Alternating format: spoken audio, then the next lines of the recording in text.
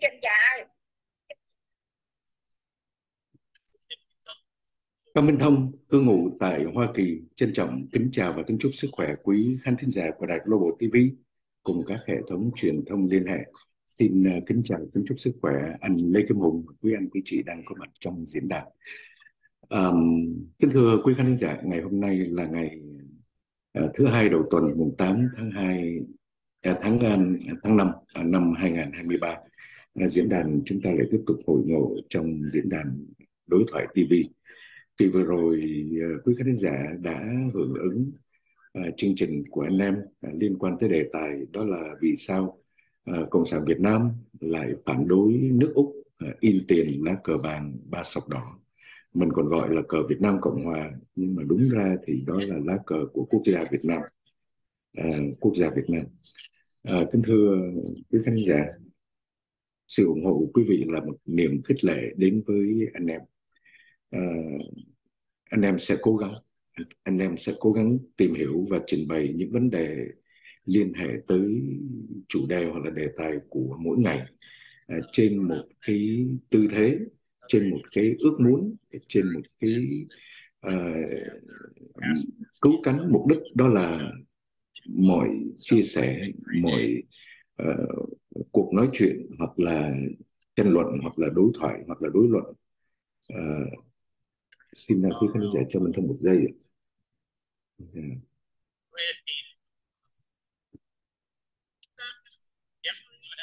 Dạ vâng.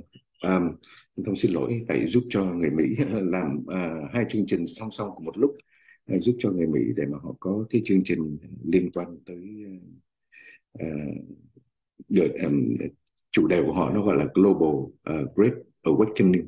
Awakening có nghĩa là một sự tỉnh thức lớn uh, toàn cầu. Uh, họ là những người phi thường và kỳ lạ lắm.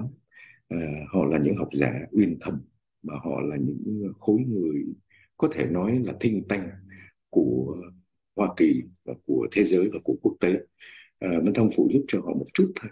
Uh, về vấn đề kỹ thuật và đặc biệt là giúp truyền âm. Ờ, bài nói chuyện của họ ra thành năm thứ tiếng trong đó có ờ, tiếng um, tiếng ờ, tiếng Hoa đó gọi là Chinese uh, Simplify uh, tiếng tàu. Rồi tiếng Farsi uh, là tiếng um, của người Ba Tư đó uh, của nước Iran tiếng Farsi tiếng Persian rồi tiếng Nga tiếng Tây Ban Nha và tiếng Việt. Uh, cái mục đích là để đưa cái tiếng nói đi xa.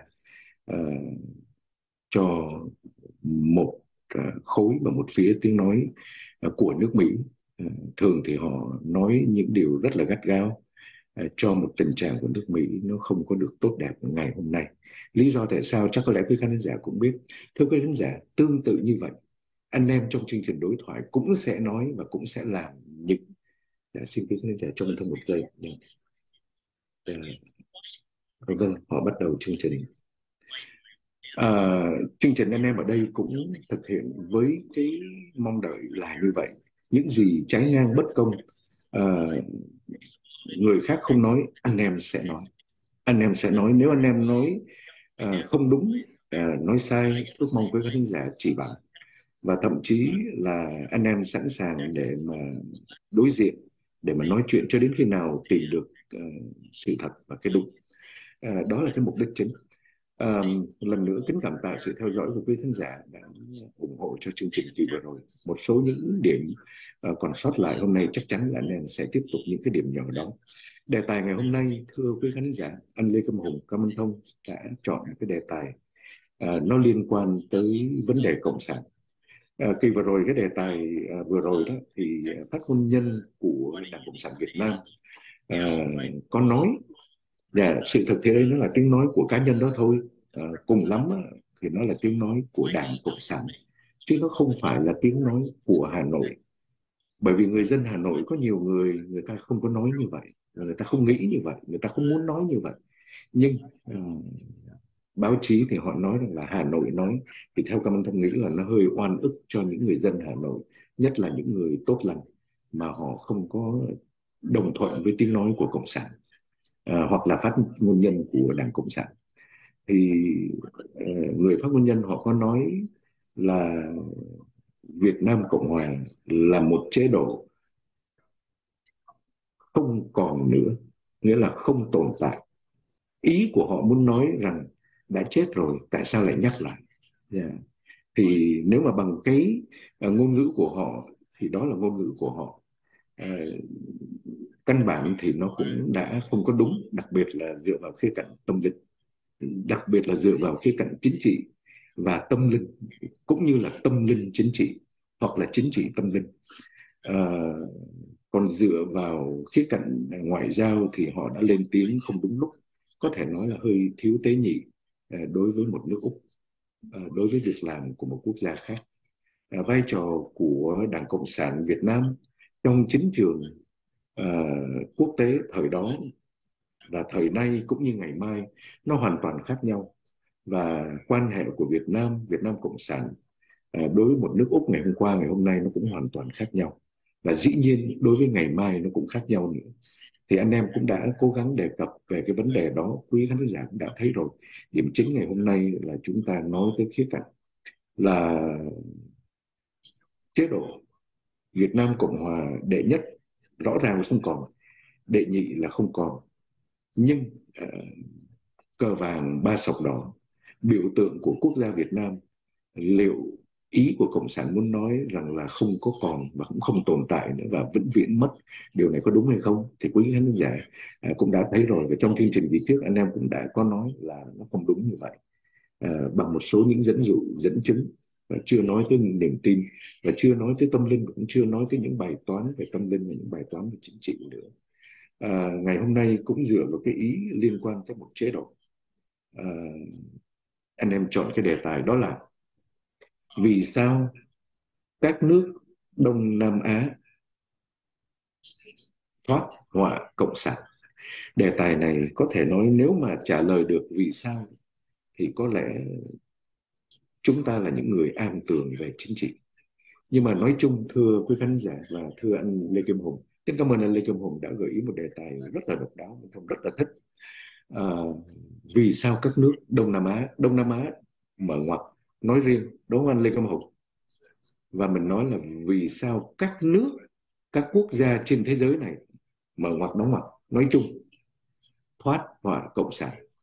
Hay quá một đề tài hay. Quý khán giả sẽ thấy từ đề tài này nó sẽ xuất hiện những cái ý tưởng. Thí dụ như cộng sản là gì?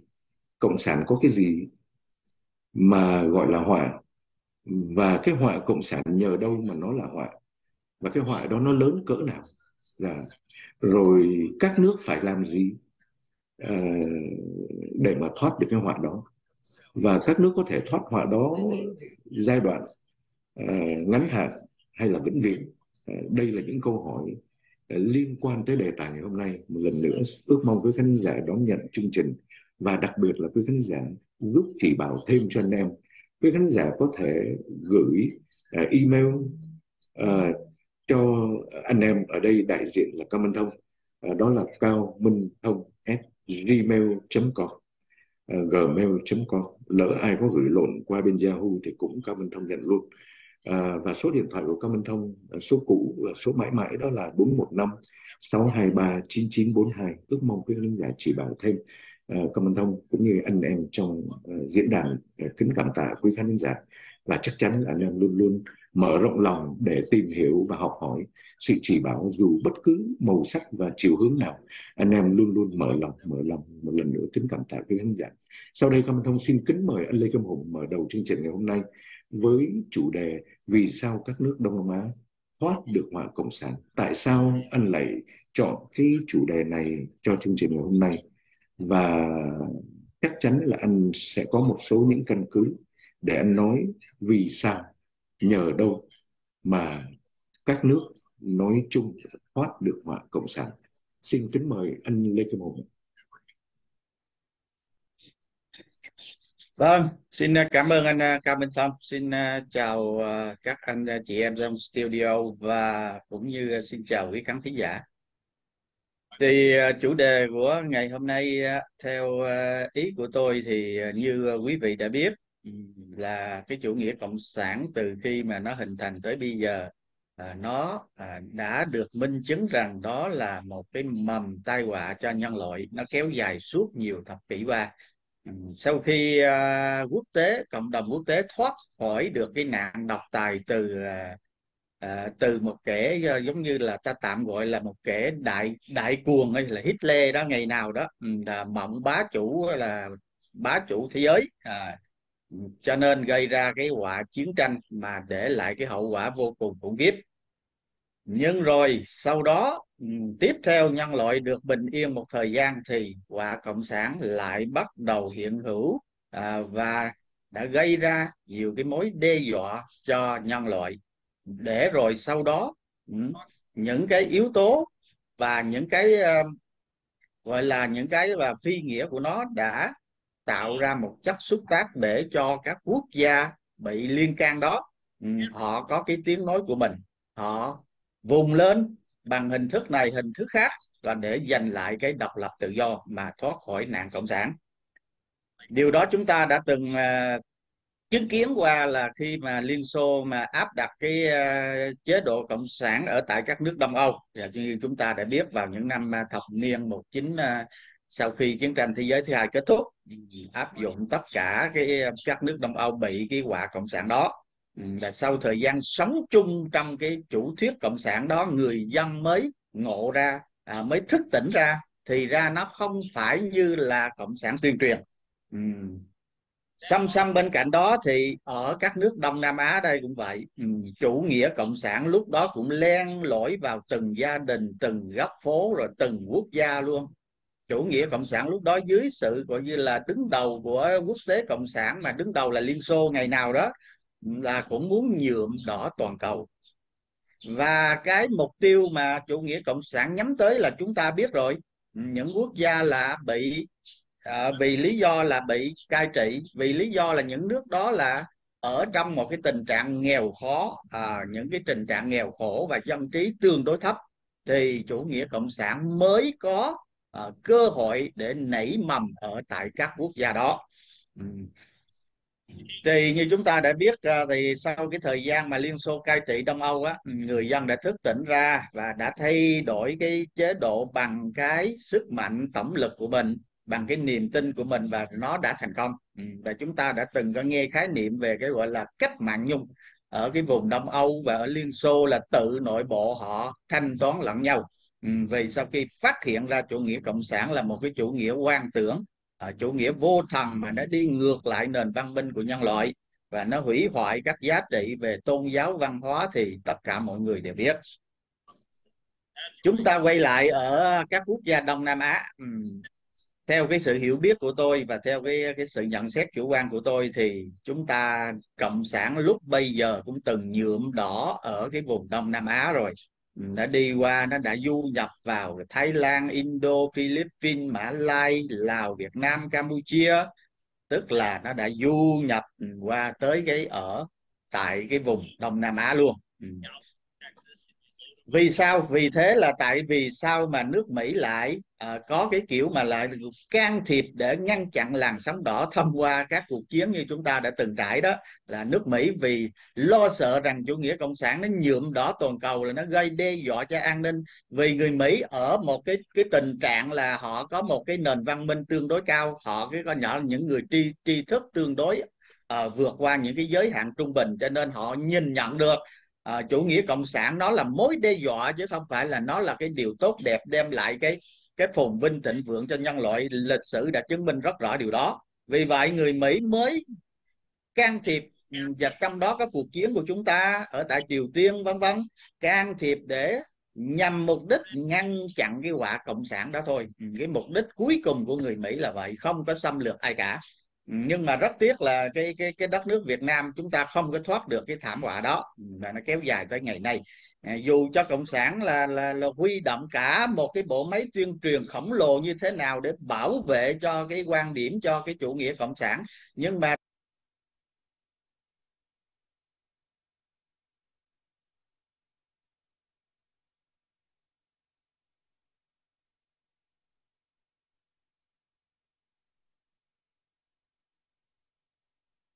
phiên bản như ngày nào mà liên, người dân liên xô và người dân đông âu đã từng. Ừ. Quay lại ở các nước đông á như chúng ta, tôi nêu một ví dụ điển hình như là nước nhật bản chẳng hạn. Nước Nhật Bản đó ngày nào mà bị Mỹ quánh hai thả hai trái bom nguyên tử tiêu diệt cả hai thành phố ở tại Hiroshima và Nagasaki và tiêu diệt tiêu diệt cả hàng trăm ngàn người như vậy.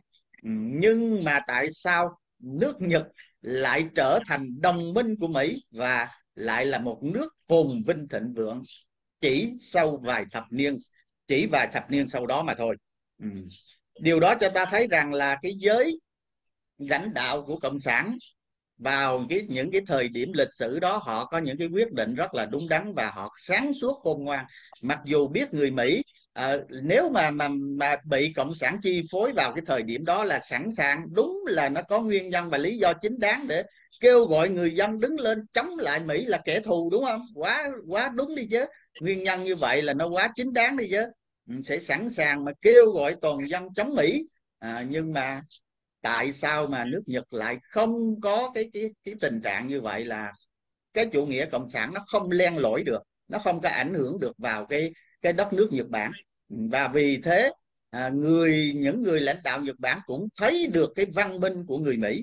Ừ, và cái điều đó nó thể hiện qua cái tướng MacArthur mà khi mà mà để đưa quân lại đội lại để quản lý Nhật Bản ông đã đưa ra những cái chính sách tuyệt vời luôn. Ừ, những cái chính sách về làm khoan dung những cái hiến pháp những cái giá trị dân chủ tự do để áp vào cho cái đất nước Nhật Bản mà nhờ vậy nó thoát khỏi được cái những những những cái tàn dư của chiến tranh và nó đem lại cái sự phồn vinh thịnh vượng. Ngay bây giờ là đất nước mặt trời mọc, họ rất là tự hào về cái đất nước của họ, người dân của họ. Ừ, và những quốc gia khác như Việt Nam cũng rất thèm muốn như thế. Những quốc gia khác cũng rất rất thèm muốn được như là một một nước Nhật Bản như vậy mặc dù trước đó là họ là là là là là, là, là đồng minh với Hitler và, và à, Italia à, Ý vào thời điểm bây giờ là để gây ra cái cuộc chiến thứ hai. Nhưng mà nhờ những cái người lãnh đạo sáng suốt lúc đó cộng sản nó cũng đã trà trộn vào cái cái đất nước Nhật Bản rồi. Nhưng mà à, giới lãnh đạo đã quá sáng suốt để không có cho cái chủ nghĩa cộng sản nó nảy mầm nó cắm rễ ở vào cái quốc gia của mình vì vậy cho nên nó mới có được cái ngày hôm nay. Rồi quay lại như đất nước Malaysia nè, Indonesia này ngay cả Thái Lan cũng vậy. Chủ nghĩa cộng sản vẫn nảy mầm và nó cũng được tuyên truyền, nó thu hút một phần lớn phần lớn người tham gia người ủng hộ mà trong đó phần lớn là là những người dân nghèo ở những cái vùng nông thôn. À, từ đó là chúng ta hay nói là là là là, là cộng sản có thể mị dân được. À, họ ru ngủ họ tô vẽ ra một cái bánh vẽ một cái thiên đường. Nhưng mà là lúc đó là mang cái tâm lý là là cuộc sống khó khăn hay là thông tin nó chưa có được mà phổ biến rộng rãi sau này cho nên người dân dễ bị ngộ nhận và tin vào cái chủ thuyết cộng sản. À, nhưng mà nhờ cũng nhờ cái những cái giới lãnh đạo uh, của Mã Lai hay Thái Lan họ nhìn nhận được họ sáng suốt họ nhìn nhận ra được cái bản chất của chủ nghĩa cộng sản. Cho nên họ một mặt họ đem lại cái cái áp dụng cái tự do để cho người dân có một cái cuộc sống nó nó phong phú nó phát triển về tinh thần và vật chất luôn. Mặt khác họ ở tuyên truyền rằng chủ nghĩa cộng sản nó là giống như là một cái cái loại quái thai như vậy nó không đem lại gì cả. Và họ cũng có một cái chính sách kêu cộng sản ra chiêu hồi đầu hàng và nó đã thành công. Ừ, đến năm 1997 mấy 1988 mấy những cái nước như vậy nó mới xóa sổ được cái những cái cái, cái gọi là ảnh hưởng của cộng sản ở tại chính quốc gia của mình. Ừ, còn Indo ờ, uh, thì còn Indonesia thì Suharto ngày nào có, cũng có một cái chính sách rất là là khôn ngoan. Đại khái là có những cái thủ thuật chính trị rất tuyệt vời. Cho nên dụ được cả hàng trăm ngàn ờ, đảng viên cộng sản lồi mặt ra ừ, ra gọi là công công khai ra ờ, nó hiện hữu ra để gọi là chia sẻ quyền lực, nắm chính quyền gì đó. Cho nên là từ trong rừng, từ nấp ở trong bóng tối là lộ ra ánh sáng hết, ánh sáng hết. Và sau đó là ông Suharto dùng quân đội là tiêu diệt một cái là sạch sẽ là cái Indonesia là cái cái cái đó là là à, hơn 500 ngàn đảng viên cộng sản đã bị tiêu diệt ngay trong cái thời của ông Suharto và chủ nghĩa cộng sản chấm dứt ngay từ đó luôn không còn cái mầm mắm nổi dậy. Đó là những cái quốc gia nó có được cái may mắn như vậy. Ừ, còn ví dụ như Nam Hàn chẳng hạn ngày nào đó Bắc Hàn nó dựa vào cái uh, sự ủng hộ mà sự giúp đỡ của đồng minh cộng sản Trung Quốc ở bên đây à, bên bên kia thì có đồng minh Liên Xô nó áp chế và nó tấn công ra nó muốn nuốt chửng Nam Hàn luôn. À, lúc đó mà nếu không có Mỹ và Liên Hiệp Quốc nhập cuộc thì Nam Hàn cũng bị trở thành thê thảm như như là là là bị bị à, vừa bị cộng sản mà vừa bị gia đình trị. Nó cai trị giống như Cuba hiện tại bây giờ thì thật, thật là khốn nạn cho cái đất nước Hàn Quốc. Mà nhờ lúc đó Mỹ và Liên Hiệp Quốc vào cuộc để can thiệp vào cái quá trình đó, cho nên có thể là vừa đẩy lùi cộng sản, vừa tiêu diệt cộng sản, mà đẩy lùi ra tới vĩ tuyến 38 luôn. Là chặn đứng ngay từ đó. Ừ, là vì sao mà mà MacArthur là muốn đánh ra tới ờ, Bắc Hàn để giải phóng toàn bộ thống nhất đất nước luôn, nhưng mà với lãnh đạo ở tại ờ, tòa Bạch Ốc ngăn chặn thì nó cũng có nguyên nhân nguyên nhân. Vì nếu mà chúng ta, người Mỹ mà nếu mà chiếm cả đất nước Triều Tiên thì cái mầm họa chiến tranh nó vẫn còn dai dẳng vì Trung Quốc và Liên Xô nó đang giáp biên giới đây. Nó sẽ sợ rằng là cái sự hiện hữu của Hoa Kỳ ở ngay sát nách của họ, thì họ sẵn sàng, họ sẽ gây ra cái xáo trộn hỗn loạn và họ sẵn sàng hỗ trợ cho cộng sản núp trong bóng tối núp trong rừng núp trong dân đồ vậy đó. Là đi chống lại thì người Mỹ sẽ gặp vô cùng khó khăn. Vì vậy cho nên là đúng là giới lãnh đạo Mỹ rất sáng suốt ở đến ngay vị tuyến 138 là là dừng lại ở đó thôi không cho MacArthur tiến ra quýnh Bắc Hàn. Nếu mà lúc đó mà tiến ra thì cũng có thể là quýnh ờ, giải phóng sạch sẽ luôn. Nhờ cái vị tuyến như vậy thì nó mới cắt ngăn ra đôi đất nước như thế.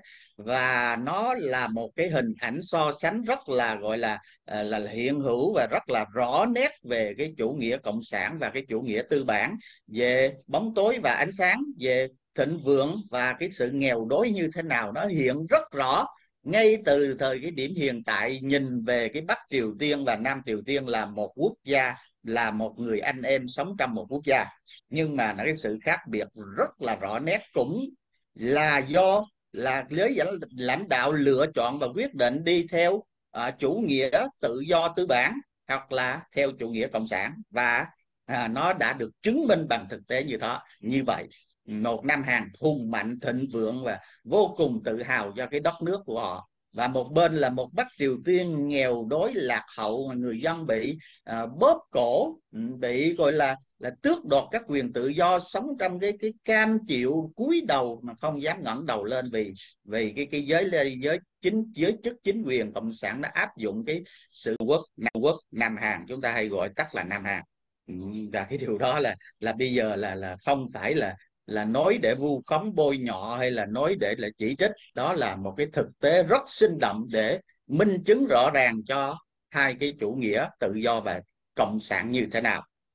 Và quay lại đất nước, những cái nước đông dương như chúng ta thì vì cái cái dư âm và cái ảnh hưởng của chủ nghĩa cộng sản cho nên bây giờ cứ lẹt đẹt ở cái top cuối của 10 nước Đông Nam Á cứ lẹt đẹt và đi sâu người ta, cứ nghe cứ nghe những cái nước mà mà nghèo khổ, mà lạc hậu, mà tự do nó bị hạn chế là cứ thường thường nhắc đến là Việt Nam, Lào, Campuchia và Myanmar. Mặc dù Myanmar và Campuchia cũng cũng có mà, cũng có cái hình thức là đã trải qua nền dân chủ, nhưng mà dân chủ vẫn chưa có đủ, cho nên cũng đã bị độc tài nó thao túng và ảnh hưởng và người dân cũng vẫn mất tự do như thường. Ừ, và khi mất tự do rồi thì đất nước thường thường là nó không có phát triển nổi. Ừ, nó cứ lẹt đẹt lẹt đẹt như vậy. Ừ, nó không có cất cánh bay cao như là mà Singapore hay là Đài Loan, Nhật Bản hay là Hồng Kông hay là Nam Hàn nó trở thành những cái con rồng châu Á, những cái biểu tượng về kinh tế, về cái cái quyền lực, về niềm tự hào dân tộc. Ừ, còn Việt Nam chúng ta thì thì, thì vậy cũng phải chịu vào cái ảnh hưởng của cái chủ nghĩa cộng sản như thế. À, là vì ở đó là là chủ nghĩa cộng sản nó có gieo mầm được là cái thời điểm đó là cái dân nghèo khổ của chúng ta dân trí tương đối thấp nó cũng cũng khá đông. Ừ, cho nên là chủ nghĩa cộng sản nó, nó nó mới có cái cơ hội cộng sản Việt Nam nó mới có cơ hội nó nó tuyên truyền và nó du nhập cái, cái thuyết cộng sản từ bên ngoài nó đem về nó truyền bá trong đây nó tô vẽ cho một cái thiên đường ảo vọng như vậy cái điều đó rõ nét nhất là những người ở chính trong những nội bộ cộng sản đó là là là là thừa nhận cái điều đó là nếu, nếu mà chúng ta đừng có, để cho họ gọi là bị phân biệt hay là vì thành kiến định kiến kiến với nhau thì hãy hỏi những, những nhân vật như là Bùi Tín nè ví dụ vậy như là Dương Thu Hương nè những nhân vật mà gạo cội mà sống trong lòng cộng sản đó họ sẽ hiểu được cộng sản như thế nào ừ. vâng đó là chia sẻ sơ bộ về vì sao các quốc gia và trong đó có ờ, trong các quốc gia ở ờ, châu Âu hoặc là châu Á chúng ta đó nó cũng thoát được cái cái họa cộng sản à, và người dân và được hưởng cái quyền tự do và đất nước nó có cơ hội được phát triển nó đi lên anh. Thưa anh Phong. Ừ, cảm ơn anh. Dạ vâng à, xin thay mặt diễn đàn quý khán giả kính cảm ơn anh Lê Kim Hùng. À, vừa rồi à, quý khán giả đã thấy anh Lê Kim Hùng có một số những à, nghiên cứu à, theo dõi à, cũng như là tìm hiểu à, và chia sẻ liên quan tới một số những nước à, ở khu vực à, của mình, à, khu vực châu Á hoặc là Đông Nam Á, à, kể cả nói chung là những nước cộng sản trên thế giới này, à, những nước trên thế giới này đã thoát họa cộng sản như thế nào? Bằng một cái nhìn à, à, của một cá nhân đó là anh Lê Kim Hùng một người tù một người tù đấu tranh Ờ, hành động và một người tù chính trị 20 năm tù trong nhà tù cộng sản. À, chắc chắn là anh cũng đã tìm hiểu học hỏi và theo dõi rất nhiều từ những người bạn tù và trong thực tế cuộc sống cũng như là một số những tài liệu. À, nhìn chung phần chia sẻ của anh Lê Kim Hùng theo Cam Minh Thông nghĩ không biết quý khán giả có thấy giống tâm thân đó là những cái sự uyển chuyển và khéo léo của con người của một số lãnh đạo của một số quốc gia họ đã linh động họ uyển chuyển để họ không bị rơi vào cái họa cộng sản. À, ít nhất và cuối cùng họ còn có được một chút cái bầu trời hoặc là không khí uh, tự do và có quyền là dân quyền và nhân quyền ở nước họ để rồi họ phần nào được thực hiện được cái quyền sống uh, làm người uh, của họ tại những nước đó. Uh, tại Việt Nam chúng ta thì có thể nói rằng cộng sản sâu đậm ở bên tàu thì cộng sản cũng rất sâu đậm ở nước nga cũng vậy liên xô cũng vậy.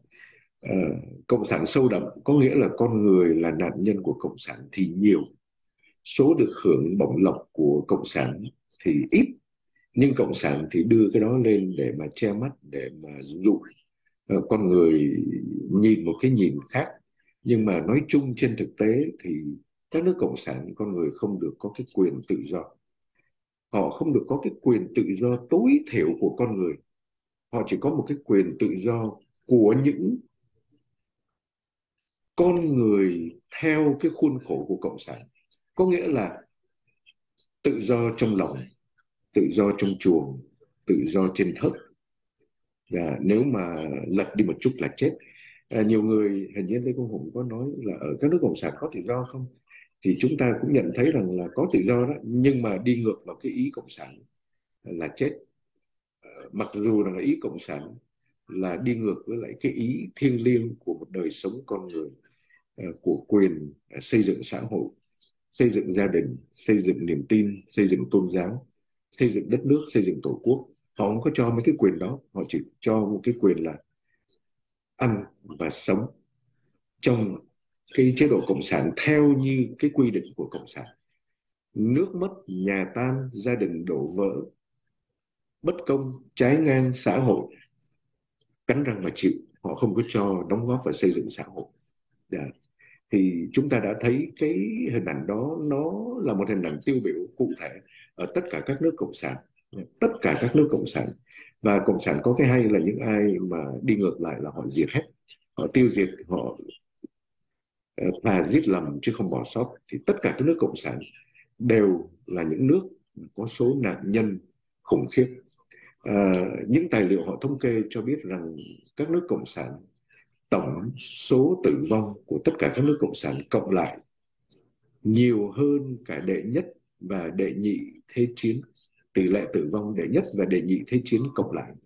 Chiến tranh dù vũ khí tàn khốc cỡ mấy vậy mà số nhân mạng bị ờ, mất đi cũng không bằng ở trong cái xã hội cộng sản. Một câu hỏi rất lớn đặt ra thưa quý khán giả. Có phải chăng trong xã hội cộng sản trong các nước uh, uh, trong các chế độ cộng sản ở tại các nước thì những người có cái hạt mầm tốt lành là tự do là đều bị tiêu diệt? Yeah chúng ta thấy ở miền Bắc ấy, Tâm Thông có gặp được một ông cụ ở miền Bắc. Cụ có quan sát ông cụ thì vào trong năm năm 54 cụ nói. Ở ngoài Bắc ấy, tất cả là đều phải vào tổ chức hội đoàn hết. Ai mà không vào tổ chức hội đoàn là nó để ý và nó thanh toán. Là tuổi nhỏ tuổi trẻ thì vào nhóm của thiếu nhi lớn chút thì vào đoàn. Thanh niên lớn nữa thì, thì vào các hội thí dụ như hội ông hội bà hội phụ nữ. Lớn nữa thì vào đảng những ai mà cưỡng lại là nó để ý và có thể bị mất mạng bất cứ lúc nào. Và khi đã vào rồi đó, thì lại phải đi theo một cái quy củ của nó. Có nghĩa là phải báo cáo, phải làm việc theo cái chỉ định. Yeah. Nếu không làm việc theo chỉ định, nó theo dõi và nếu cần nó sẽ chấm tọa độ và rồi nó gạt ra và nó tiêu diệt. Chính vì vậy rất đau lòng cho nạn nhân của các nước cộng sản những ai mà còn sót lại thì chắc có lẽ là họ là những người may mắn được những người kia chết thế mà đau buồn một cái là những người có những hạt mầm tốt lành. Những người đẹp thì lại là nạn nhân, lại là nạn nhân. Còn những người không dính dáng gì hoặc là tuân phục thì lại được hưởng. Phải chăng đây nó là những cái bất công của những cái văn minh mà chúng ta gọi là văn minh của sự chết? Phải chăng à, vâng à, cảm ơn anh Lê Kim Hùng. Anh có những cái nhận định như vậy. À, sự khéo léo luôn luôn là cần thiết. À, cảm ơn thông có một cái suy nghĩ này nêu đến với anh Hùng và với quý khán thính giả. À, theo cảm ơn thông nghĩ đó thì chủ nghĩa cộng sản họ chủ trương là vô thần.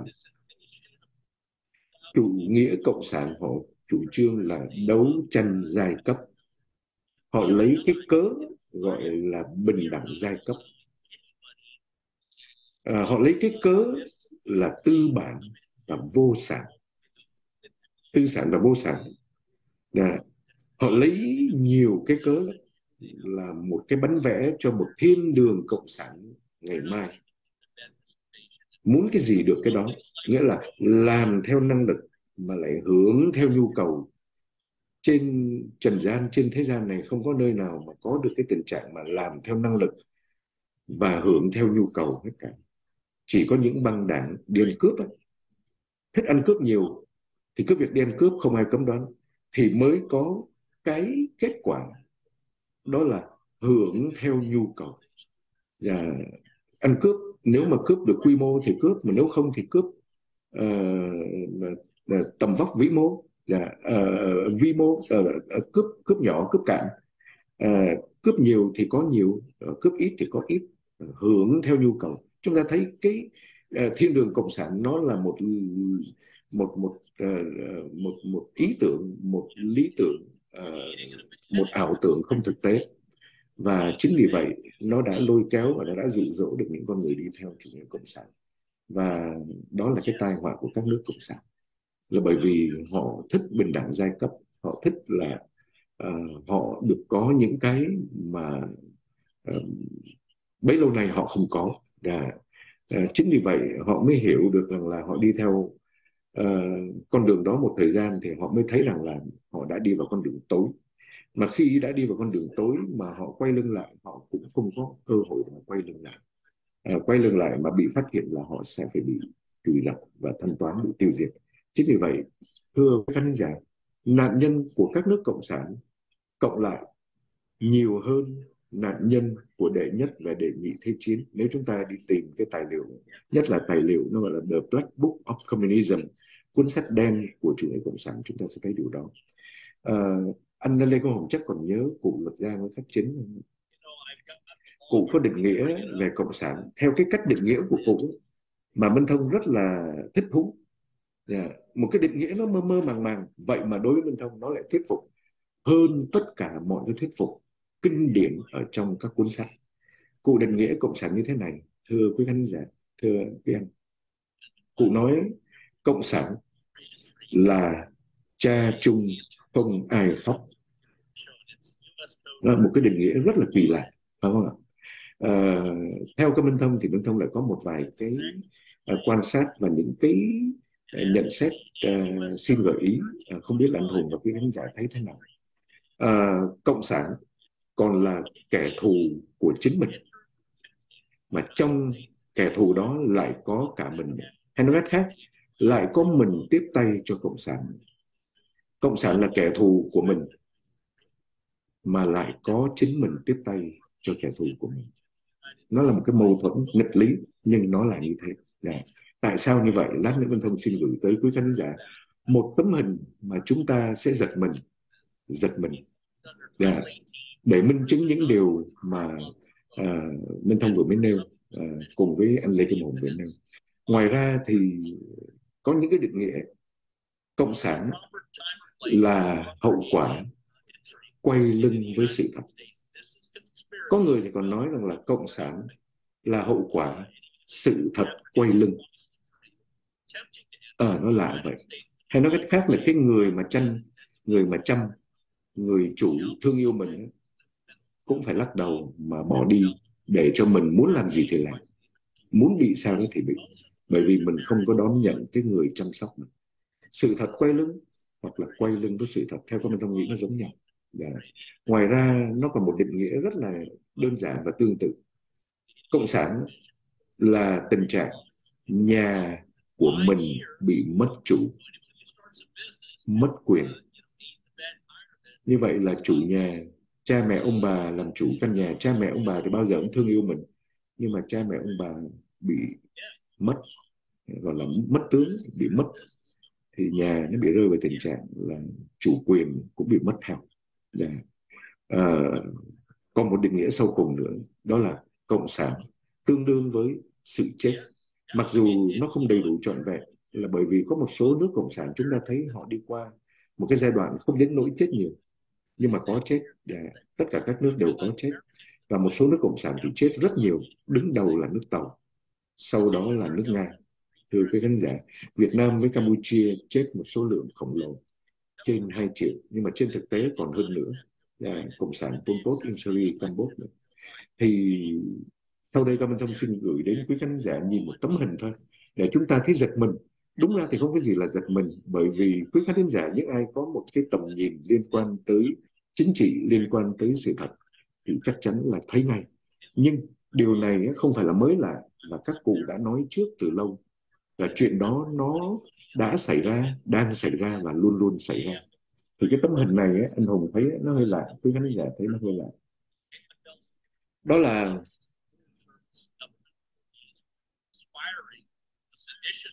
đài SBTN yeah, dạ, đài SBTN thì nhiều màu sắc lắm yeah. Nhưng mà ít nhất đài SBTN có đăng một cái bản tin yeah. Bản tin có tựa đề là Trung Cộng cảnh cáo Cộng sản Việt Nam về thảm kịch Ukraine. Và quý khán giả thấy nó có một điều gì lạ không ạ? Anh Hùng thấy một điều lạ phải không anh Hùng? Trung Cộng cảnh cáo Cộng sản Việt Nam về thảm kịch Ukraine. Và các bạn muốn. Quý khán giả để ý kỹ đó là Trung Cộng cảnh cáo Cộng sản Việt Nam. Dạ, về thảm kịch Ukraine. Chúng ta biết cái thảm kịch Ukraine là anh em chém giết lẫn nhau. Nga và Ukraine là anh em cùng một ngôn ngữ chém giết lẫn nhau. Kinh khủng khiếp thưa quý khán giả. Tan tác tan tác ở cái xứ này. Cả hai đều thiệt hại nhân mạng kinh khủng khiếp đặc biệt là Ukraine. À, Việt Nam và Trung Cộng là sát bên với nhau còn gọi là anh em một nhà đó, cộng sản đó. À, nhưng anh em cũng có thể cảnh cáo nhau và anh em cũng có thể tiêu diệt lẫn nhau. À, à, Công Thông chỉ xin đưa cái hình ảnh này để minh họa tới một điều đó là sự chết. Mà sự chết đến với con người bằng rất nhiều lý do bởi vậy như anh Hùng có nói đó các lãnh đạo cộng sản họ cân nhắc cái lợi cái hại cái nặng cái nhẹ để mà họ giúp cho dân tộc của họ thoát được cái họa cộng sản họ rất uyển chuyển họ rất khéo léo yeah. nó nó nó nó nó nó nó nó, nó muôn hình vạn trạng nhưng mà ít nhất là các nước ở Đông Nam Á cũng như tại Á Châu ở châu Á uh, họ đã thoát được cái hoạt cộng sản ít nhất là bằng cái tài năng và sự hiểu biết về cộng sản yeah và đã, họ đã thoát. Nhưng riêng Việt Nam của chúng ta thì chúng ta phải nói rằng chúng ta không thoát được. Và hậu quả là vô lượng hậu quả lớn lắm thưa quý khán giả. Và hậu quả này là cộng sản Việt Nam đừng có hy vọng mà xóa được bởi vì nó là cái hậu quả truyền kiếp và nó lớn lắm đó. bởi vì cái hậu quả này nó còn ảnh hưởng tất cả con cháu và con của con cháu và con cháu của con cháu đúng không anh Hùng? Dạ thì cái hình ảnh vừa rồi đó quý khán giả thấy đó như tổng thống Donald Trump là một nguyên thủ quốc gia của Hoa Kỳ vụ mà TPP đó tổng thống đã phủ nhận và như gần đây tổng thống uh, cựu tổng thống Donald Trump có nhắc lại nữa đó là uh, tình trạng đu dây và không có chân thành của cộng sản Việt Nam hay nói cách khác là đại diện cho Việt Nam vào bây giờ không có chân thành. À, chính vì vậy cộng sản à, à, ông Donald Trump cái thời mà ông còn là tổng thống cũng như bây giờ ông chỉ là cựu tổng thống thì ông có nói là không có một cái cơ hội gì cho Việt Nam hết. Là không có tạo điều kiện gì hết. Ông có nói một câu rất là nặng nếu chúng ta đọc kỹ chúng ta giật mình đó là hãy để cho anh em chúng nó xé xác lẫn nhau. Thì cộng sản Việt Nam có ai nghĩ rằng là ôm chân tàu là thoát đâu? Ôm thật chặt là thoát dạ, không có cái chuyện đó đâu. Dạ. Dạ, ôm thật chặt là thôi đừng có đánh tôi. Dạ, đừng có nhưng chuyện mà sinh tử để đắp vào cái uh, chỉ tiêu mà uh, một nhân vật uh, đó là tố hữu của cộng sản Việt Nam đã tố cáo cộng sản Việt Nam đó là giết giết cho nhiều giết cho bàn tay không chút nghỉ giúp giết giết cho đến khi nào mà đạt được chỉ tiêu cho lúa xanh cho ruộng tốt cho chỉ tiêu đạt được. Ờ, à, chính tố hữu đã tố cáo là cộng sản việt nam là giết người đạt được chỉ tiêu. Vậy cái chỉ tiêu đó là gì? Thì ờ, câm thông chỉ xin nêu vậy để quý khán giả thấy rằng nó là như vậy đó. Và, và nếu có chiến tranh giữa tàu và việt nam thì đó chỉ là một cái cớ thôi. Chủ yếu là người dân việt nam sẽ là nạn nhân. Và, và cộng sản việt nam lại tiếp tục ngồi uống rượu chung với nhau với cộng sản tàu. Bởi vì họ đã thanh toán được một số con người mà theo cái nhìn về tâm linh người ta gọi đó là giải quyết về vấn đề nhân mãn. À, nó lạ lắm thưa các khán giả. Vâng câu hỏi cảm ơn thông xin được nêu đến với anh à, Lê Kim Hùng. Và cũng ước mong các khán giả đóng góp thêm. Thì theo anh Lê Kim Hùng Việt Nam của chúng ta đã không thoát được họa cộng sản. Theo anh Lê Kim Hùng nghĩ theo cái nhìn của anh thôi là không nhất thiết là đúng hay sai em cũng vậy em cũng không nhất thiết là đúng hay sai đâu mình cứ nêu lên suy nghĩ của mình. Chắc chắn là mình sẽ nhận được sự đóng góp quý khán giả. Theo anh đó, thì anh thấy liệu Việt Nam mình có thoát được cái họa cộng sản thời đó không?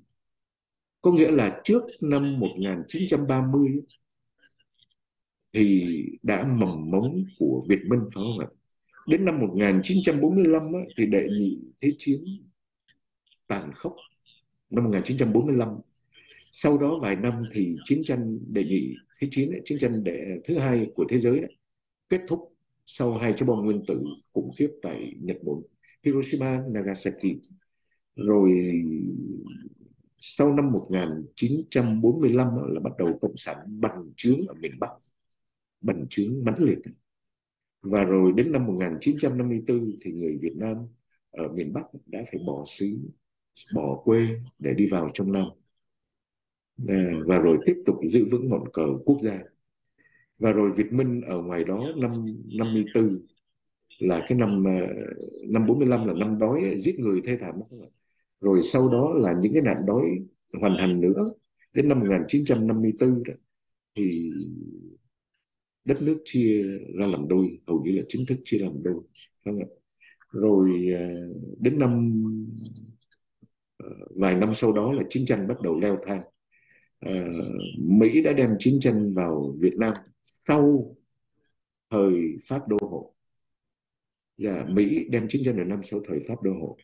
Và rồi ờ, chiến tranh Việt Nam kéo dài cho đến năm 1973 ờ, kết thúc chiến tranh đến năm 1975 thì cộng sản miền Bắc đã xâm lăng miền Nam, lấy cái cớ gọi là giải phóng cho người dân ở miền Nam đang đau khổ. Nhưng mà trên thực tế họ không có giải phóng một chút nào mà họ đã vào để họ cướp đi biết bao nhiêu sinh mạng và cướp đi biết bao nhiêu tài nguyên. Ờ, thì theo anh Lê Kim Hùng theo anh anh chứ thì anh có nghĩ Việt Nam có thể thoát được cái họa cộng sản vào thời điểm đó không?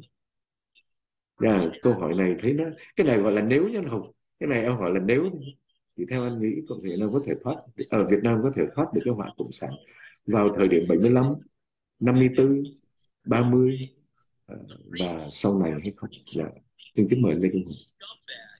Vâng vâng. Cảm ơn anh Thông thì à, như chúng ta đã biết lịch sử của Việt Nam trải qua bao nhiêu, nhiêu cuộc chiến tranh mà gây ra cho cảnh mà mà huynh đệ tương tàn đất nước bị tàn phá. Chúng ta hãy thử hãy thử hãy thử quay ngược thời gian và chúng ta đặt câu hỏi vì sao ừ, Việt Nam phải trải qua những cuộc chiến tranh như thế? Vì sao các nước không nói đâu xa ở những cái vùng lân cận họ không phải bị những cái nạn chiến tranh như vậy. Ừ.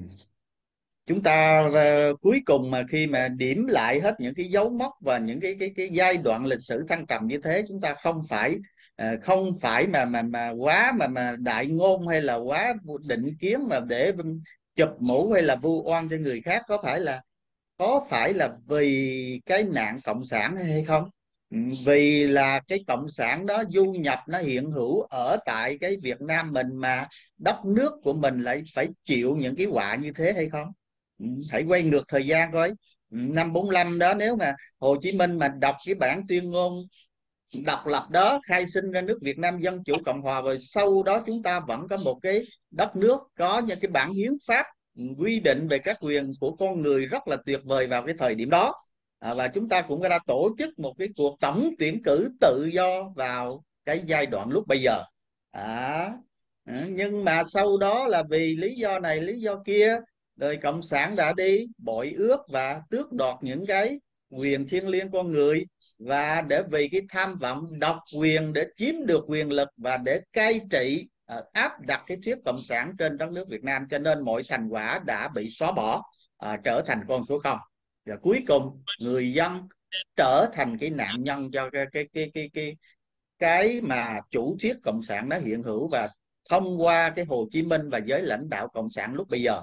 À, lúc đó mà nếu mà nếu mà đừng có bị thuyết cộng sản đất nước chúng ta à, được sự hỗ trợ của Hoa Kỳ và dưới áp lực của cộng đồng quốc tế đến một thời điểm nào đó Pháp nó phải trả lại tất cả thuộc địa ừ, theo đúng như là là là cái áp lực của Liên Hiệp Quốc cộng đồng quốc tế à, và cái sự tranh đấu là nó không có đến nỗi mà phải đầu rơi máu đổ và nó bị trải qua những cái kiếp nạn lê thê sau này như thế thì đất nước cũng vẫn có được cái nền tự do dân chủ và không có bị cái, những cái cuộc chiến tranh sau này.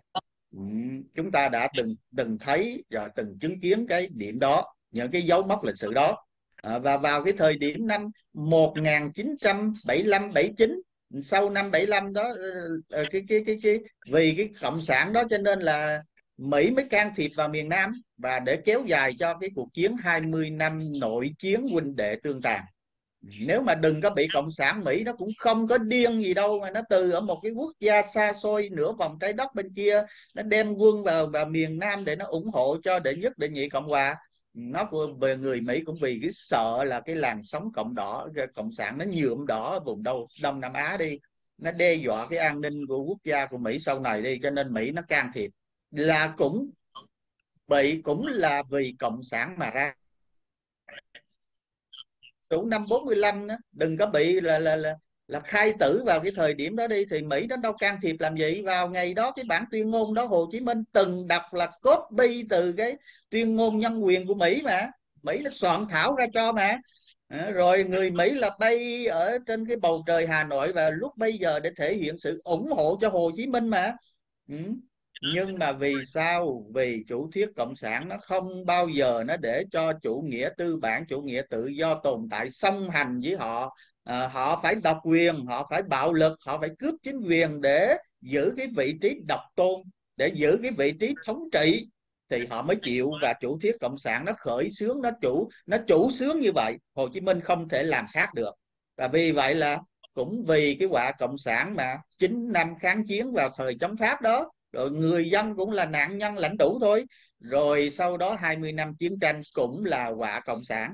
Rồi năm 1975 quả cộng sản lại tiếp tục đem dội trên đầu người dân vào cái cuộc chiến ở ở phía phía tây bắc đối với Trung Quốc chứ với Việt Nam là hai nước cộng sản anh em ngày nào từng ôm nhau gặp nhau ôm hung hít với nhau làm có vẻ như là có cái sự đoàn kết anh em theo cái kiểu tuyên truyền của cộng sản. Nhưng mà bên trong thì bụng dạ anh nào cũng cũng cũng chứa đựng những cái tham vọng những cái cái xấu xa những cái âm mưu nào đó rồi cuối cùng phải phải va chạm với nhau gây ra chiến tranh.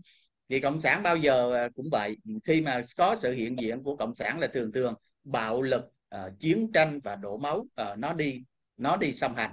Rồi ở tại vì cũng vì cộng sản cho nên biên giới tây nam campuchia đó cộng sản việt nam và cộng sản khmer đỏ lại đánh nhau và người dân lại tiếp tục trở thành nạn nhân. Rồi sau đó thì sao? Khi mà đã cái gọi là độc lập rồi đã không còn chiến tranh rồi thì người dân lại tiếp tục là bị nạn nhân bởi những cái chính sách quan tưởng Ờ, những cái chính sách nó đem lại là bệnh tật và lại đau khổ. Và những cái chết đó là rồi rồi rồi đưa ra cái làn sóng mà bỏ nước ra đi, ồ ạt, rồi mấy trăm ngàn người phải bỏ mình trên biển cả. Rồi bao nhiêu người bỏ mình ở những cái gọi là kinh tế mới dạ, rồi ở trong nhà tù. Rồi cuối cùng người dân cũng trở thành nạn nhân.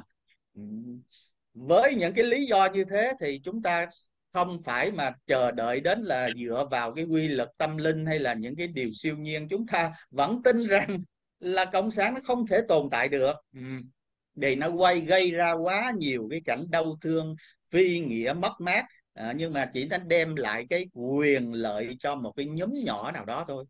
Cho đảng viên cộng sản này cho những cái đoàn viên gia đình và những cái cái cái cái, cái, cái mối liên đới mà có có kiếm chát được quyền lực ở từ trong cái, cái cái sự lãnh đạo của cộng sản đó thì họ ủng hộ. Còn đại đa số người dân thì họ đâu được cái hưởng những cái gì nhiều về về cái chính sách của cộng sản đâu. Ừ, cho đến ngày hôm nay cũng vậy thôi. Ừ.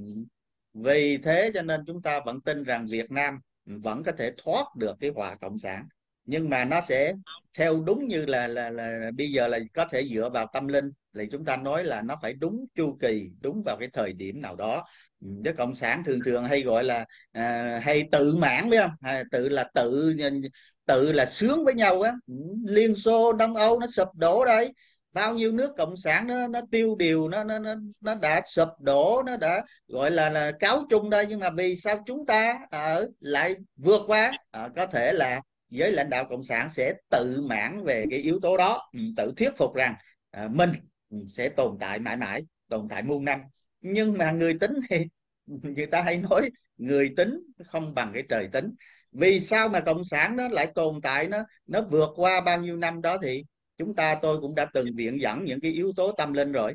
Ừ cộng sản dù bây giờ nó có thể phi nghĩa hay là à, nó đem lại những cái cái cái điều bất như ý cho dân tộc cho người dân nhưng mà ở một mức nào đó nó cũng à, hy sinh nó đổ máu nó đổ mồ hôi nào đó để nó dương cao cái nó dựa vào cái tinh thần dân tộc nó dựa vào cái cái cái cái, cái lòng yêu nước rồi đó để nó kêu gọi người ta để đứng vào hàng ngũ của nó rồi của nó cũng phải hy sinh nó bỏ mạng nó cũng cũng cống hiến nó đấu tranh gian khổ. Vì vậy cho nên là à, anh gieo cái gì? Anh gặt cái đó và anh đã trải bỏ trải qua những cái điều gì thì anh sẽ được hưởng. Anh hy sinh cái điều gì thì anh sẽ được hưởng thụ lại. Đúng đúng vào cái cái cái cái cái, cái uh, gọi cái gọi là anh đã hy sinh anh đã bỏ ra anh đã đầu tư ra anh sẽ thu lại giống như là anh thu lại lợi nhuận vậy đó.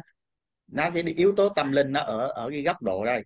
Ừ. thì anh gieo được bao nhiêu cái hy sinh xương máu thì anh sẽ gặt được bao nhiêu cái cái thành tựu mà bây giờ đó thì cộng sản à, chúng ta thấy rồi. Ừ, giờ đem gọi là đi chống chủ nghĩa tư bản chống mỹ chống đồ. Ngày nào bây giờ thì lại luôn có xu hướng hướng về mỹ và phương tây. Nhưng mà miệng hay là là là truyền thông thì lúc nào cũng vẫn khăng khăng bảo vệ chủ thuyết uh, Mark Lenin chủ, hồ, tư tưởng Hồ Chí Minh. Mà Hồ Chí Minh đâu có tư tưởng gì đâu họ tự à, họ theo dệt để họ thần tượng quá để ru ngủ cái cái lớp trẻ thôi. Và vừa rồi cái tấm hình của anh thông đó đó là cũng là một cái mối đe dọa sau này là coi chừng người dân tiếp tục trở thành nạn nhân đây. À, khi mà cái gã khổng lồ khổng lồ láng giềng phương bắc là cái gã tham vọng tập cận bình và đảng cộng sản trung quốc nó đâu có ngồi yên đâu. Nó đang muốn thống trị nó muốn là mộng bá đồ dương mà. Chủ nghĩa đại hán phải bành trướng phải xoắn ngôi chủ xoắn ngôi của mỹ mà cho nên nó cũng phải muốn áp đặt những cái quyền lực và những cái điều mà mà mà cái giới cộng sản Trung Quốc cho rằng là họ có thể nghiễm nhiên là họ thay thế vai trò siêu cường của Hoa Kỳ và các nước tư bản. Tại vì vậy nếu mà Việt Nam nhúc nhích mà có cái điều gì đó thì đó ngoại trưởng Vương Nghị nó đe dọa rồi đó, cô chừng bị cái thảm kịch yura Urana đó, là tức là cộng sản Trung Quốc bây giờ nó hiện, nó vẫn đang có cái chủ trương ngầm là sẽ dạy cho Việt Nam một bài học lần thứ hai. Nếu Việt Nam mà lợn cợn thì cái điều đó, tôi ở cái quan điểm chủ quan cá nhân của tôi, chắc chắn nó nó sẽ xảy ra trong một ngày không xa. Là Trung Quốc, cộng sản Trung Quốc và cộng sản Việt Nam tiếp tục lại choảng với nhau à, lại xung đột với nhau rồi người dân tiếp tục trở thành nạn nhân. Với tất cả những lý do đó thì không có thể gọi là cộng sản nó tồn tại muôn năm được. Chúng ta không cần dựa vào những cái yếu tố quyền bí tâm linh thiên nhiên gì đâu. Nhưng mà những cái yếu tố mà à, cộng sản nó đã gây ra quá nhiều cái tai họa những cái đau khổ những cái những cái tổn thương cho dân tộc cho người dân thì đến lúc nào đó thì nó phải trả lại à, cho cái dân tộc và cho người dân những cái quyền tự do à, những cái điều thiêng liêng những cái điều chính nghĩa mà vốn là đất nước chúng ta đã từng có. Đó chúng ta đã từng có là một nước tổng tuyển cử tự do có từng có một bản hiến pháp với các quyền tự do à, bầu cử tự do hội họp tự do biểu tình báo chí ngôn luận gì đó cũng rất tuyệt vời. Lúc đó có thể là một lãnh đạo mà mà mà làm không đúng thì người dân vẫn có quyền lên án chỉ trích chứ không phải là bị chụp mũ cầm đầu đưa vô tù như bây giờ là cho cái, cái danh là nói xấu là đạo cho nên là đối với cộng sản là nó khi mà đã trở thành quan chức là nó muốn biến thành là những vĩ nhân. Những những con người vĩ đại nhưng mà họ cũng là những con người bình thường thôi chứ đâu phải là thánh nhân gì đâu cũng tham sân si rồi cũng đủ thứ những cái như, như khi mà vô thần đi theo cái thuyết vô thần đi nữa thì cái tai họa nó đã có thể là nó nhân đôi lên nhân đôi lên so với người bình thường. Vì lúc đó là họ không có cần biết là chết là hết đâu cần cái linh hồn đâu có cần phải trả giá ở địa ngục gì đâu chết trở thành các bụi chấm hết cho nên khi sống ở thế gian thì mình có làm đủ cái thứ ác hay là những cái thứ tàn bạo đi nữa thì mình cũng không có nhất thiết phải chịu hậu quả theo cái cách nghĩ như thế nhưng mà tôi cũng có từng dẫn chứng là những cái anh giám thị ờ, những cái anh cai ngục đã từng trả giá ở trong tù rồi. Ừ, lúc mà còn đương chức thì ỷ vào quyền lực của mình là gây ra bao nhiêu khổ đau cho tù, rồi ăn chặn ăn xén, ăn bớt những cái phần phẩm, những cái khẩu phần của người tù một cách là trắng trợn, đành đoạn như vậy. Khi mà vừa hết quyền lực rồi là một là là bị bệnh hay là thường phần lớn là đột quỵ tăng xong là nằm một đống thôi. Đó đó là cái kiểu mà họ phải trả những cái quả báo mà họ gây ra. Thì cộng sản bây giờ cũng vậy. Với cái cách cai trị mà sử dụng những cái cái sử dụng hay sử dụng cái bạo quyền phải không? cái quyền lực để trấn áp người dân thì thì đâu có thể mà tránh được cái sự trừng phạt của ông trời được. Ừ, ông trời nếu đúng ông thượng đế ông rất công bằng và ông có mắt ông nhìn thấu hết. Nhưng mà đến lúc nào đó uh, thì ổng khi mà thời điểm chúng chín mùi ông mới ra tay trừng phạt và vì sao mà đất nước chúng ta nó phải trải qua thảm họa như vậy thì bây giờ là theo cái yếu tố góc nhìn tâm linh của tôi thì anh Thông hãy quay ngược lại một ờ, chút thời gian về lịch sử đi. Ờ, vào cái thời mà triều đại nhà Nguyễn của chúng ta đó trong cái triều đại nhà Nguyễn vua chúa phong kiến chúng ta à, các vua như là là tự đức hay là minh mạng ngày nào đó đã à, sát hại hàng trăm ngàn giáo dân những người theo đạo thiên chúa. Ờ, và bức hại và những cái người mà đi truyền đạo ở từ nước ngoài để đưa cái đạo Thiên Chúa vào Việt Nam để cho người dân đã tin vào Chúa Trời để sống những cái cuộc đời tốt đẹp có cái sự bác ái có cái tình yêu thương chứ đâu có làm gì bậy đâu.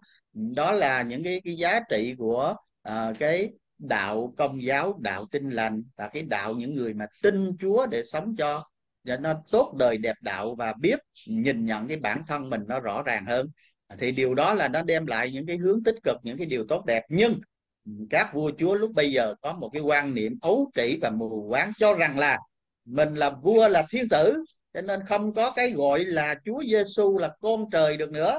Vì vậy là nên cái thuyết đây là tự chụp mũ cho cho gọi là tà giáo chụp cho cái mũ liền. Là sẵn sàng để bức hại hàng trăm ngàn giáo dân chết trong cái giai đoạn đó. À, theo kinh thánh thì anh ta nếu anh thông theo đạo Chúa là biết rồi giống như mà người Gilda mà mà mà, mà hại bức hại Chúa Giêsu là lúc đó là bất chấp nói thôi đừng có lo ông Phi Lát của, của đế quốc La Mã đừng có lo cứ để cái máu người đó là đổ vào đầu dân tộc chúng tôi đây. Thì nó đổ thiệt. Sau đó là người Israel người Do Thái đó là bị bao cái nạn là lưu đày bị người ta bắt làm nô lệ. Rồi qua cái thời cận hiện đại đây bị Hitler nó làm một phát nó tàn sát một cách hơn 6 triệu người. Do Thái phải bỏ mạng chạy lưu lạc khắp thế giới cho đến khi cầu cứu kêu cầu ông ờ, Đức ờ, Chúa Trời hãy cứu chúng con này nọ. Đức Chúa Trời mới thương xót uh, cho quy tụ lại để lập ra cái nước Israel hùng mạnh như bây giờ. Ừ, đó là cái điều máu đã đổ lại đúng nó ứng nghiệm như vậy. Và chúng ta hãy ngược lại cái nước Việt Nam chúng ta cũng vậy. Máu của những cái giáo dân những cái, những cái, cái, cái vị giáo sĩ đó bị bức hại đổ lại xuống dân tộc chúng ta. Cho nên chúng ta dù cố gắng bao nhiêu dù người Mỹ đã cố can thiệp dù chúng ta đã từng có là một nước à, tự do dân chủ nhưng mà vẫn không thoát được cái quả cộng sản. Đó là Ờ. do cái yếu tố về tiền kiếp á, chúng ta nếu mà ở thấm tâm linh là là do các bậc tiền nhân tạo ra cho nên dân tộc nó phải gánh chịu. Ừ, vì vậy cái điều đó nó không có nghĩa là cộng sản và những cái chuyện phi nghĩa những cái điều phi nghĩa nó sẽ tồn tại muôn năm nó sẽ tồn tại mãi mãi. Ừ, dù bây giờ là cái cái cái truyền thông đã được kiểm soát à, họng súng bạo lực à, quân đội công an là một lực lượng hùng hậu tài chính lúc nào cũng có sự dồi dào và nhà tù lúc nào cũng chờ đón những người bất đồng dính kiến những người dám nói lên sự thật. Nhưng nhưng mà nó chỉ có một cái giai đoạn nào đó mà thôi. Và cái điều đó nó đem lại cho niềm tin cho cái người dân trong nước và cả những người ở hải ngoại cũng vậy họ tin tưởng rằng một ngày nào đó đất nước Việt Nam sẽ có sự thay đổi và cộng sản phải trở về đúng cái giá trị của nó giống như là à, Lenin ngày nào đúc tượng thì sau đó là bị kéo cái đầu xuống và quăng vào sọt rác. Ừ, Stalin hay là Mao Trạch Đông ờ, ngày nào hoặc là Hồ Chí Minh rồi một ngày nào đó cái số phận nó cũng vậy thôi. Vì cái, cái nó sẽ trả về đúng cái vị trí của nó chứ không có thể là tự vẽ bùa tự theo dệt đeo được. Đó là là là lịch sử hoặc là là cái điều chính nghĩa hay là quy luật tự nhiên rất là công bằng. Ừ. không có thiên vị ai cả. Con người mà tự xứng đáng là hữu xạ tự nhiên hương tự lịch sử tôn vinh. Giống như các tổng thống mỹ ờ, bao đời bốn người mà tổng thống mỹ vĩ đại được khắc trên ờ, cái núi Red Bull ờ, ở bên Hoa Kỳ gì đó. Ừ. họ là xứng đáng họ không cần phải uh, tự vẽ bùa đeo cho mình nhưng mà cái sự xứng đáng họ cống hiến đem lại quyền lợi cho dân tộc nó quá tuyệt vời và nó quá xứng đáng cho nên được người dân tôn vinh được lịch sử ghi nhận. Còn những kẻ mà bại hoại thì tất nhiên nó sẽ bị đào thải thôi. Giờ tự mình vẽ bùa đeo thì cũng đâu có ai công nhận đâu. Thì cộng sản nó cũng như thế thôi. Đến một ngày nào đó ừ, cái việc mà sử dụng bạo quyền bạo lực để à, tự tô vẽ cho mình để ngồi trên ngôi vị lâu dài bất chấp những cái nguyện vọng bất chấp những cái những cái nhu cầu những cái khát vọng người dân chỉ có, có sử dụng hậm súng và bạo lực như vậy thì đến một ngày nào đó thì cũng phải bị trả giá đúng theo cái ừ, cái cái gọi là chánh nghĩa là sẽ tồn tại và phi nghĩa nó sẽ bị đào thải ừ. vâng thưa anh ừ, cảm ơn anh thông Dạ vâng, à, hay quá. Dạ, kính cảm ơn anh à, Lê Kim Hùng đã gợi nhớ lại một số những hình ảnh. À, tất cả đều liên hệ với nhau. À, đặc biệt là anh Lê Công Hùng có nói tới cái uh, cause and effect, còn gọi là nhân với quả. Uh, là yeah, đất nước của chúng ta phải nói rằng là quý khán giả chắc cũng đồng ý là một giống dân hiền hòa, một giống dân hiền lành lắm. Nhưng mà một số những người họ không có trân quý sự hiền lành và tốt lành của con người kể cả những vị vua à, phải nói nếu mà nói tới vua mua minh, à, minh mạng vua tự đức là những người nhỏ nhoi là đi à, hành quyết những phải nói rằng cái đó nó hơi kém văn minh. À, con người thời xưa mình không thấy sợ mình không không ngờ. Là à, đấy nó là những cái tai họa như vậy. Dạ xin quý khán giả chúng mình giây.